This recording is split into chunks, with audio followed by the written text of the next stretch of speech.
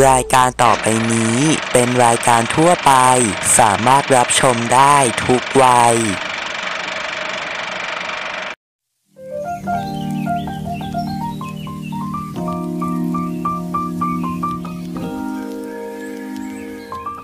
สวัสดีค่ะ ยินดีต้อนรับเข้าสู่รายการคิดแคททอ l k ประจำวันเสาร์ที่ 5 พฤศจิกายนปีพุทธศักราช 2565 นี้นะคะ ต้องขออภัยผู้ชมทุกท่านด้วยนะคะที่ไม่สามารถลงวันศุกร์ได้นะคะ เนื่องจากมีปัญหาทางเทคนิคนะคะ ต้องขอโทษด้วยนะคะ พบกับฉันคิดแคทที่จะมาสัมภาษณ์ผู้คนในรายการทอล์กโชว์แห่งนี้ ถ้าพร้อมแล้วขอเชิญคุณป้าคาซิเอกค่ะ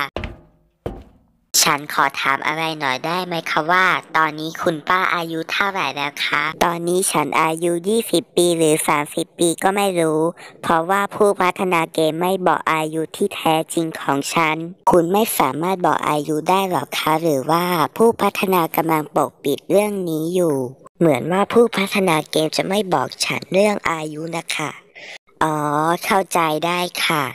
ตอนนี้คุณได้ประกอบอาชีพเป็นอะไรหรอคะ ตอนนี้ฉันไม่ได้ประกอบอาชีพเป็นอะไรเลยค่ะ เพราะว่าฉันไม่มีใบอนุญาตให้ประกอบอาชีพต่างๆ น่าสงสารคนนี้จริงๆ เป็นกำลังใจให้เขาได้ประกอบอาชีพใหม่ๆด้วยนะคะ ขอบคุณที่เป็นกำลังใจให้ฉันด้วยนะคะ ด้วยความยินดีค่ะคุณป้าคาซิเอะและคุณมีผู้ปกครองเป็นใครเหรอคะ อ๋อ ฉันมีผู้ปกครองเป็นเจ้าหน้าที่ภาษีค่ะ คุณมีผู้ปกครองเป็นเจ้าหน้าที่ภาษีด้วยเหตุผลใดหรอคะ ตอนสมัยเด็กๆ ฉันเป็นเด็กกำพร้าไม่มีพ่อแม่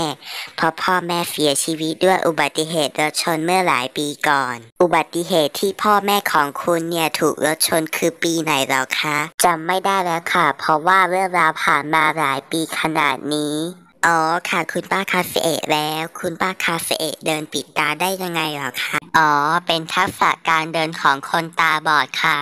ขอบคุณที่ให้ข้อมูลกับทางรายการของเราด้วยนะคะ และในวันนี้คิดแคทก็ต้องขอตัวลาไปก่อนนะคะสำหรับวันนี้ขอบคุณและสวัสดีค่ะ